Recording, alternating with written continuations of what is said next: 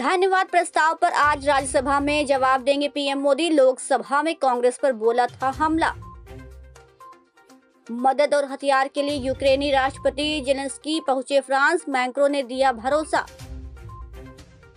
तुर्की Syria में मृतकों का आंकड़ा पंद्रह हज़ार से पार। अभी भी मलबे में दबे हैं लोग।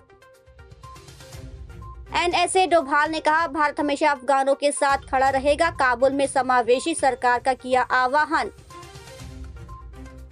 लखनऊ में कल से लगेगा महामेला, इन्वेस्टर समिट और जी ट्वेंटी के लिए तैयारियाँ पुख्ता।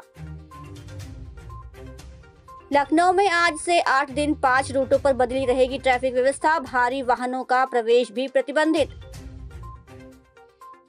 मुस्लिम पर्सनल लॉ बोर्ड ने सुप्रीम कोर्ट में दाखिल किया हलफनामा, महिलाओं के मस्जिद में प्रवेश की मांग।